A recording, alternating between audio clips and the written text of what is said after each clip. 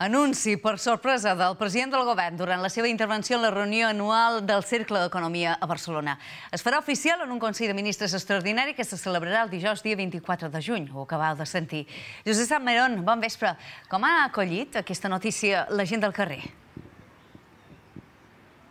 Doncs al carrer la majoria de la gent que hem pogut parlar es mostra satisfeta de poder llevar-nos la mascareta en els espais exteriors. Hi ha, però, que encara vol mantenir-se protegit, diu, i que continuarà portant la mascareta tot i estar al carrer. D'altres demanen que es respecti una distància de seguretat, tot i aquesta flexibilització de l'ús de la mascareta. Sigui com sigui, tothom reconeix que amb la situació actual d'epidemiològica i l'avanç de la vacunació són favorables per poder dur terme aquest tipus de mesures i que es flexibilitzi, com dèiem, l'ús de la mascareta. De fet, segons el darrer baròmetre del CIS, publicat avui mateix, diu que 3 de cada 4 espanyols creu que el pitjor de la pandèmia ja ha passat. Però recordam que l'anunci de Pedro Sánchez, com heu pogut sentir abans, ha quedat amb això, amb un anunci. Haurem d'esperar al pròxim Consell de Ministres extraordinari, dijous que ve, per conèixer quines són les condicions concretes d'aquesta